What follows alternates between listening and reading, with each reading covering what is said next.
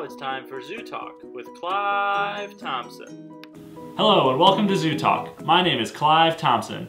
Zoo Talk is the show that's all about people who love animals but are really afraid of them. And today my guest is Pat Hughes and he is a lion trainer over at the zoo. So let's check in with Pat. Thanks Clive. It's a pleasure to be here. Pat, I've always admired someone who can take care of something that would eat you if it had the chance to eat you. So, may I shake your hand, please? Well, you may, but you see, I'll have to shake with my left arm because you don't have a right arm. Yes, as I was saying, I, I don't have a right arm. Wow, you mean to tell me that a lion bit your arm off? No, a lion did not bite my arm off. But lions eat people. In rare cases, yes, but I assure you that a lion did not... Don't lions eat meat? Yes, they do eat meat. And we're made of lion meat, right? Bart, a lion did not bite my arm off. I'm always very cautious when I work with lions, okay? You are? Lions are only likely to attack if you trigger their hunting instincts. I'm always very careful when I approach a lion. Plus, we have several training protocols that allow us to approach them when we're trying to feed them or when we're trying to give medical exams and such. Trust me, we're very safe when we're with the lions. So you're like a doctor for the lions.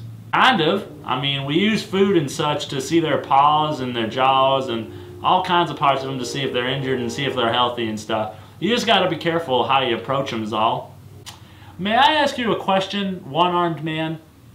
Well, my name's Pat, not one-armed man, but yes, you can ask me a question. That's what I'm here for. Let's say, just for kicks and giggles, that a man was thrown down into a pit with lions. Would they attack him? Yes, I think they would.